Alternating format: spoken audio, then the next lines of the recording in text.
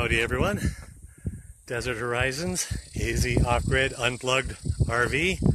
Um, this is going to be as comprehensive as I can do a video on my solar setup. I'm going to try and do this all in one take, so I, we'll see how it goes. Um, but you'll notice I got nine panels set up on my awning.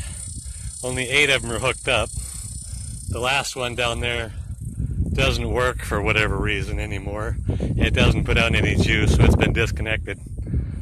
Um, but yeah, these are the eight solar panels. They're all hooked up in series. So I only have one cable coming from the, the second to the end one down there, going down, and one from here going down to the batteries. So that's what series is. So now I'll go downstairs and show you what it's like down there. Hey, puppy. I know it's a little hot out here, isn't it? Yeah. Yeah, get some water. Get some water. Well, that's Ruger. It's supposed to be 100 and I think it's six today. So yeah, he was sitting there underneath the shade, so he's going back under there. That's his favorite place to hang out. He's got plenty of room under there. Stand up, walk around, whatever he wants to do. Alright. Now I'm back downstairs, and this is the uh, the main battery compartment. I've got uh, four batteries here. These are all 6 volt batteries, so these are hooked up however it works to make them into 12 volt batteries, whether it's series or parallel, I couldn't tell you. Um, yeah, I got these two, four batteries here that are hooked up. This is one 12 volt battery, that's another 12 volt, or whichever way it works. Actually, I think this is one and that's one. And then I got the other two hooked up via these cables, the two coach batteries that you have to have with an RV. I tried figuring out a way to do it without them. It's just, it won't work. So those are, that's my battery setup. These are all Trojan T105s.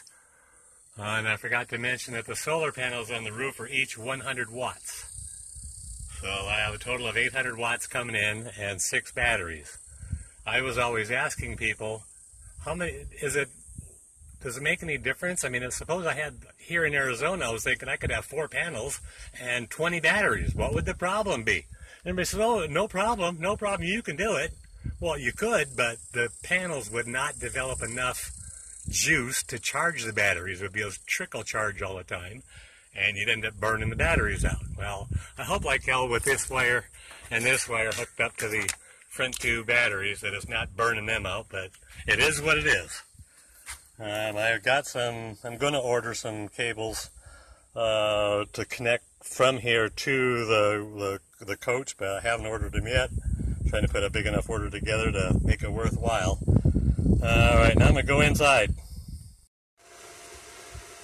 Alright, I'm back inside in my uh, power wall. This is where the uh, inverter, the charge controller, the fuses and all that stuff come up either out of the floor or wherever they're going to or from the roof where the, the panels are. But this is a, a 3,000 watt, or, sorry, a 2,000 watt, 4,000 watt surge uh, AIMS power inverter.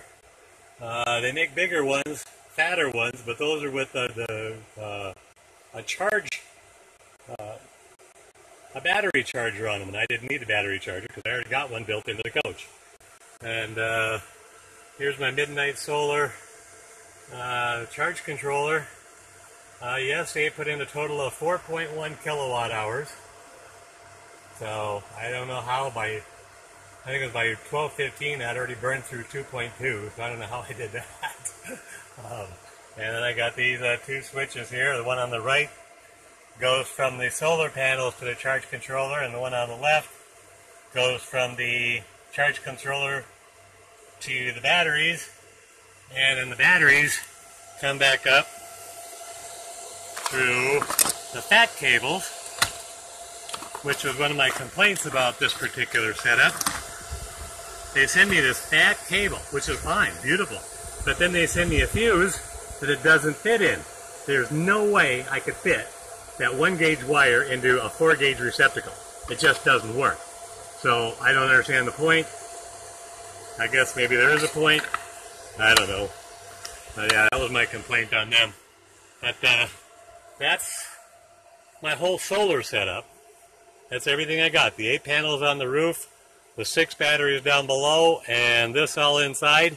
And what that is all powering is that TV takes 25 watts. I've got a nebulizer thing down there. I got a, I have no idea wattage that takes. Um, that's a 10 watt laptop computer.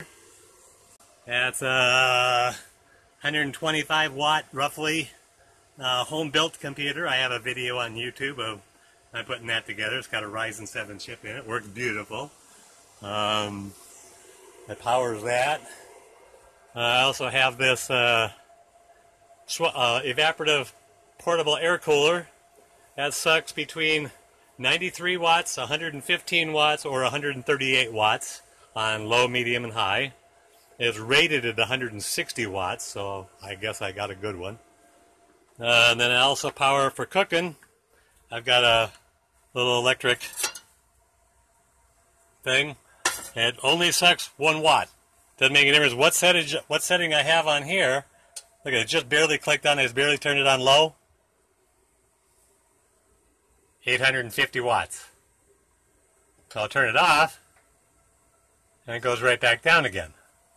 So even when you turn on low, it may kick on to 850 watts, then it'll turn off after a few seconds and back on. But it doesn't it doesn't work like a space heater, 250 watts, 500 watts, 750 watts, so on. Uh, and then back here I have several vampire loads, like a, a timer there for the refrigerator. Um, I have that set for as close to 12 hours a day, the refrigerator working. Uh, seems to work very well at that. Uh, just before it clicks off at the end of the day, the sodas in there are just getting slushy frozen, which is the way I like them. So that's perfect. Then it shuts off until 6.30 the next morning. So, and then I also charge up my cigarettes right there, and I got a lamp right, right there uh, that I use, and then I have a fan there that I leave running all night long, even when it's windy out and the and the, the windows are open. That fan's still blowing. so, and and I got you know batteries charging up and lights up the wazoo. I got a light there. I got a, a light there.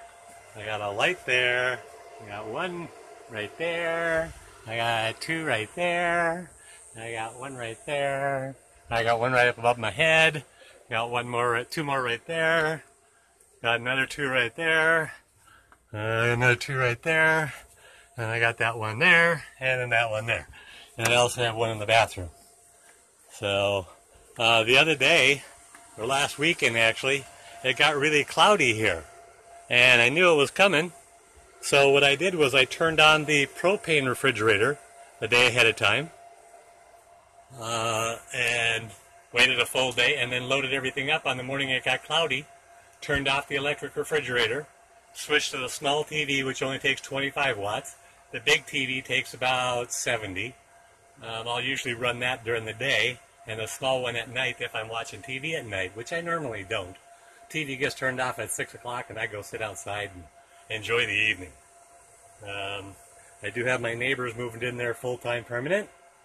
But, but, yeah, like I said, 800 watts. Uh, the other day, when it was cloudy, it actually said that it was come putting in 800 watts, 800. I didn't think that was possible. But it was right after a rainstorm, so those panels were clean. Man, there's my chart for what the you know, what the battery charge means as far as, you know, like down here in the upper right corner it says 13.9 volts. Well, that's because it's charging and nothing's being used at the moment other than the vampire loads, the well, the refrigerator's on.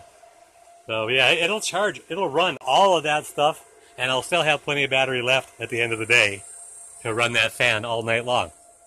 So it's like, this is a perfect setup in here for me. So that's how 800 watts can handle whatever you need to do. Hopefully this all made sense. all right, take care.